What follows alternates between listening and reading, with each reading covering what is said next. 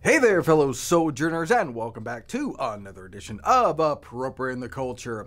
Well, it's June, the month where every corporate knee bows down and every American institution confesses that the rainbow flag is overlord of all. Wear the patch, watch the parade, celebrate, or else. I'm Pastor Shane, and I'll be your abstainer today as we appropriate some culture.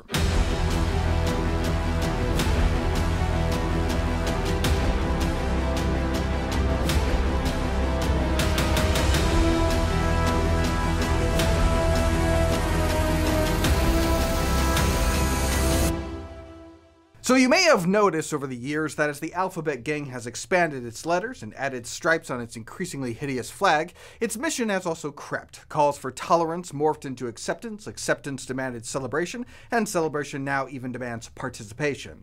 See, it's not enough that every major city in America has a pride parade, or that virtually every single corporation vomits a Skittles bag onto their logo every June. There can be no spaces in public or private life to escape from Pride Month. It's a clockwork rainbow for our civilization civilization. And like this poor kid along the parade route, we will be forced to watch. Happy Pride! We got bandanas and lube and... How are y'all doing good? Watch! You must watch a drag queen on an eggplant emoji. Don't you dare turn away from half naked men whipping people in dog masks. Every decent human should accept that lifestyle and applaud it. If you don't, well, that's news. Recently, five Tampa Bay Rays players abstained from wearing rainbow colored logos and caps on the team's Pride Night, and that was such a countercultural moment that it drew the attention of CNN, Yahoo, Huffington Post, ABC, NBC News, NPR, Washington Examiner, Washington Times, The Blaze, Daily Mail, basically everywhere. The attempted assassination of a sitting Supreme Court justice got less attention than five dudes refusing to be a walking billboard for a lifestyle that is utterly contrary to the religion. Jason Adam, a pitcher and apparently the spokesperson for the abstainers, explained their decision this way. So it's a hard decision because ultimately we all said what we want is them to know that all are welcome and loved here.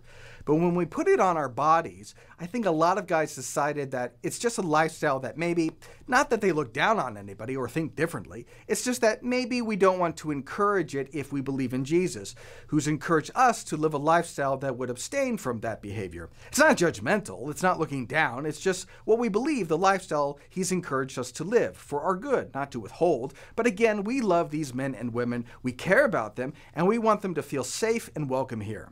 That's about as mealy mouthed a response as I've ever heard. We're not judging, we're not looking down. We love these men and women, and they are welcome. We just don't feel comfortable being an advertisement for a lifestyle that technically we disagree with. But as nicely and as warmly as they could put it, that still wasn't good enough. Tyler Kepner of the New York Times chastised the Rays and the players, writing, All this can be exhausting for the fans who would rather take their sports without politics, yet an event like Pride Night should stand apart. It is meant to be a collective show of unity without judgment, yet some players were allowed to send a different message. By allowing the players to opt out of the promotion and to use the platform to endorse an opposite viewpoint, the Rays undercut the message of inclusion they were trying to send. Tolerance isn't good enough. You can't opt out. You must participate.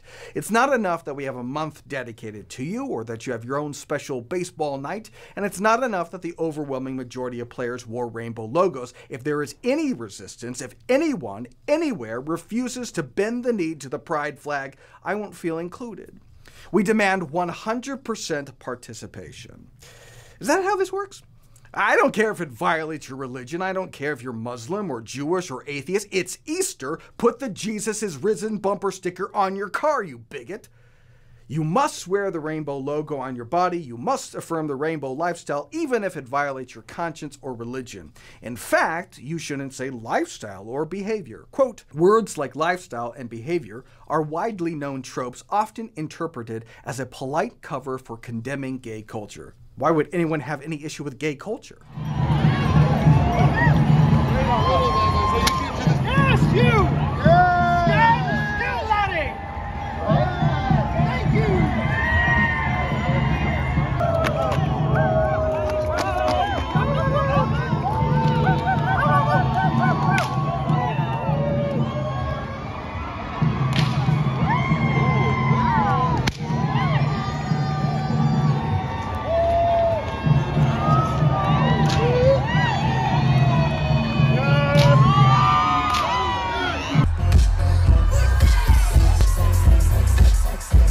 Decent, reasonable person could possibly object to what happens under the rainbow banner.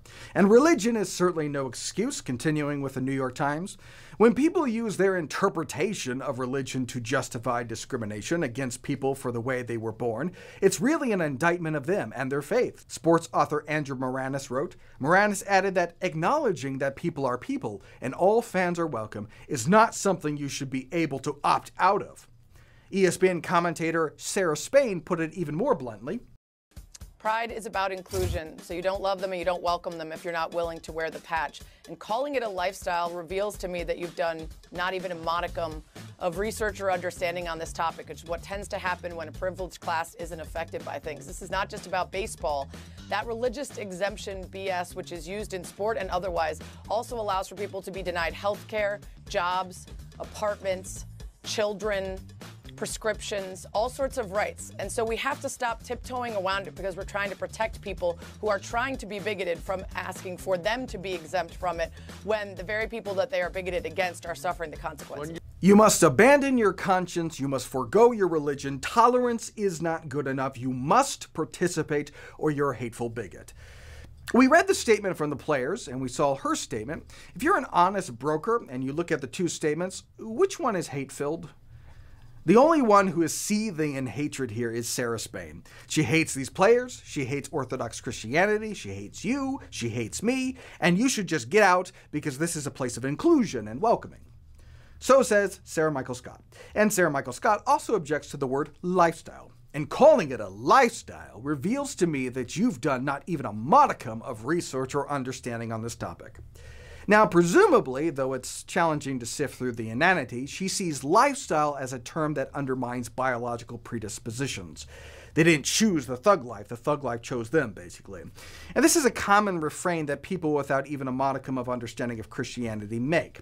When it comes to heterosexuality, we see distinction between one's biological disposition and one's sexual behavior or lifestyle. We do that all the time. We condemn cads and fornicators and adulterers. You may have an orientation and base instinct, base desires, and base appetites, but that doesn't give you license to act out on it as a heterosexual. So why should it give license to homosexuals? We make clear and obvious moral distinctions between sexual orientation and sexual behavior when it comes to heterosexuals, but it's bigoted if we do the same for homosexuals? Why are they special? They, they think it's something of a gotcha to Christianity if they say they're born this way. Um, it's not a gotcha. That's kind of a basic tenet of Christianity. Why is it, uh, do you suppose, that uh, Christians constantly talk about being born again? I'll give you multiple choice. Is it because A, we're born perfect and wonderful and beautiful and totally fine the way we are, or B, we're born with a disposition to sin and we are by nature objects of wrath? You got a 50 50 shot. Which one do you think fits with the concept of being born again? Sarah got it wrong, and continues to get things wrong when she says that religious exemption BS, which is used in sports and otherwise, also allows for people to be denied healthcare, jobs, apartments, children, prescriptions, all sorts of rights. So, none of the things you mentioned are rights, either human rights or rights enumerated by the Constitution. And the BS here is that homosexuals can't get jobs or apartments or prescriptions or healthcare? Really? Gays don't have jobs or housing? Seems unlikely. In fact, there are federal and state laws against discrimination on the basis of sexual orientation. Religion, too, by the way. But Sarah Spain wasn't the only one to think it was religious BS to abstain. Here's another sports writer who tweeted Will someone please show me the Bible passage that says, Thou shalt not wear a rainbow on thou's clothing? Sure, it's Leviticus 19:19. You shall not sow your field with two kinds of seed, nor shall you wear a garment of cloth made of two kinds of material. I'm kidding. You're not going to find condemnation of wearing rainbow clothing in the Bible, particularly because the rainbow wasn't co opted as a pride symbol until the 1970s. The Bible was written and compiled quite a bit earlier than that. But if you're curious, and you're not, the Bible does tell us not to violate our conscience. Whatever doesn't proceed from faith is sin.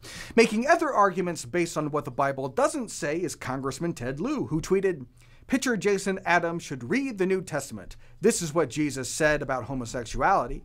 Jesus is about love, not about hating people who are different from you. He should read the New Testament. Okay, well, here's the New Testament Romans chapter 1, verse 27. In the same way, the men also abandoned natural relations with women and were inflamed with lust for one another. Men committed shameful acts with other men and received in themselves the due penalty for their error. 1 Corinthians chapter 6 verse 9. Or do you not know that wrongdoers will not inherit the kingdom of God? Do not be deceived. Neither the sexually immoral, nor idolaters, nor adulterers, nor men who have sex with men, nor thieves, nor the greedy, nor drunkards, nor slanderers, nor swindlers will inherit the kingdom of God. 1 Timothy chapter 1 verse 9. We also know that the law is made not for the righteous but for lawbreakers and rebels, the ungodly and sinful, the unholy and irreligious, for those who kill their fathers or mothers, for murderers, for the sexually immoral, for those practicing homosexuality, for slave traders and liars and perjurers, and for whatever else is contrary to the sound doctrine. Jude, verse 7. In a similar way, Sodom and Gomorrah and the surrounding towns gave themselves up to sexual immorality and perversion. They serve as an example of those who suffer the punishment of eternal fire. Maybe you should read the New Testament. Of course, he abandons the New Testament in the very next sentence, suggesting that only the explicit words of Jesus matter. If Jesus didn't explicitly speak against it, we can be certain he's cool with it. Let's try that out. Here's what Jesus said about pedophilia. Here's what Jesus said about necrophilia. Here's what Jesus said about sex trafficking. Here's what Jesus said about King Ted Lieu's car. So Jesus affirms all those things, or arguments from silence are stupid. But Jesus is about love, not about hating people who are different from you. Again, what was the horrendous action here? What was the vile, contemptible, reprehensible action here? The organization said, we're going to do a pride night, we're going to put patches on the uniforms, but it's not required. And five people said, no, thank you. And that's hatred for people who are different? If that's hatred, then what is hell? I know how much you love Jesus' words. You might be interested to know then that Jesus spoke more about hell than anyone else in the Bible, and it's not even close. It's perhaps possible that your understanding of love and hate and Jesus are way off the mark.